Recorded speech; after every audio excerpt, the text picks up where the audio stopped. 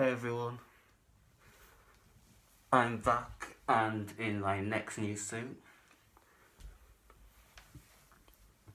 As you can see, it's the a homecoming variant and this is based off the Secret War Spider-Man suit.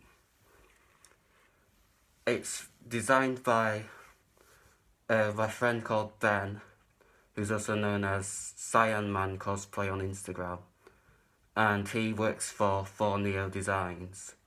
I'll put a link to 4Neo Designs and there's a whole load of patterns there made by him and from Ben to check out. And that'll be in the link below. I also got Zentai Zone to print and sew this suit together. And don't forget, if you haven't used it already, if you use the code SPIDEYMORPHER15, all lowercase, you get 15% off at Zentai Zone.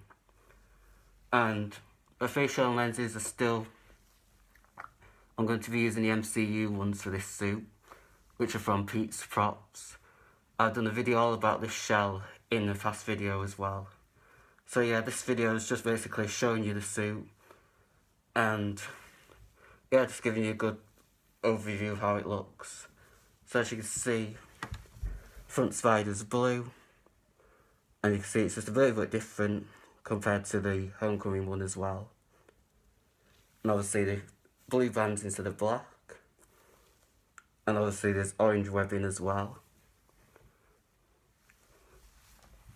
And yeah, that's the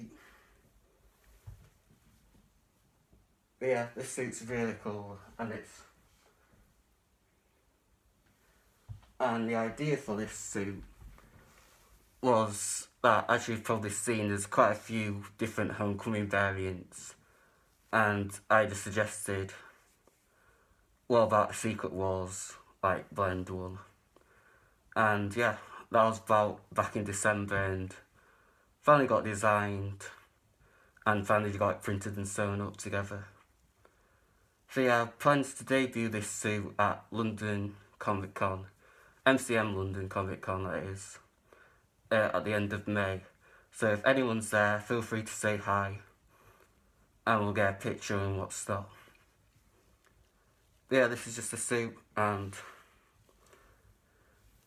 what I plan to do is I might blue puff paint all around each like blue parts of this suit and I might get a 3D emblem on top, well obviously in blue, on top on here as well.